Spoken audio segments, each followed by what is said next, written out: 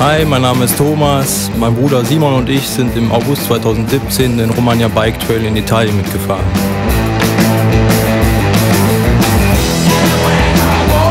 So you are the owner of the low budget bike? Yeah, the only one here, I think. Das Ganze ist ein Bikepacking-Trip und führt durch die Emilia-Romagna nördlich von San Marino. Man startet in Ravenna und wir haben uns für die kürzere von beiden Strecken entschieden. Diese ist 370 Kilometer lang und hat etwa 6500 Höhenmeter. Wir haben eigentlich drei Tage eingeplant, haben aber im Endeffekt vier Tage gebraucht. Ja, wir dachten eigentlich, dass wir schneller sind, aber wegen den hohen Temperaturen von 45 Grad und den netten Menschen, die man so getroffen hat und den schönen Landschaften, die man auch auf sich wirken lassen wollte, haben wir einfach länger gebraucht, als wir vorher geplant haben.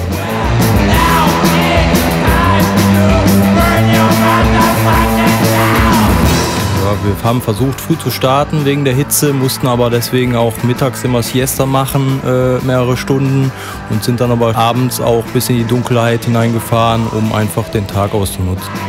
Nachts haben wir uns äh, entweder draußen hingelegt und unser Tarp aufgeschlagen und wir sind aber auch mal von einer netten Familie eingeladen worden zum Barbecue und haben da gepennt.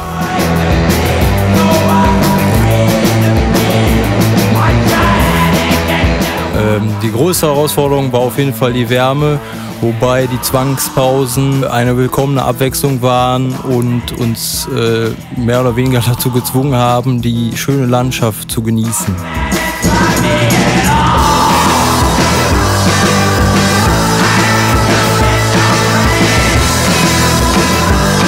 Viele Anstiege hatten es in sich, viele mussten wir auch schieben, wobei auch viele spaßige Abfahrten dabei waren, wo man schon fahrerisch was können musste.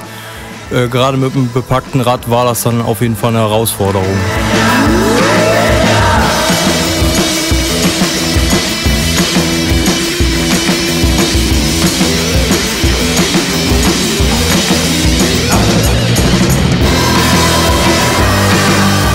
Der schnellste auf der langen Route, die 600 Kilometer lang ist, hat 48 Stunden gebraucht.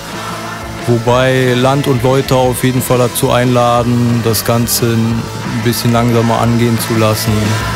Ich bin ganz froh, dass der Romagna Bike Trail für uns kein Rennen war, sondern einfach ein Abenteuer auf dem Rad, was für uns in Erinnerung bleiben wird. Der Event ist auf jeden Fall eine Reise wert und ich bin gespannt, wo uns beide der nächste Trip hinführt.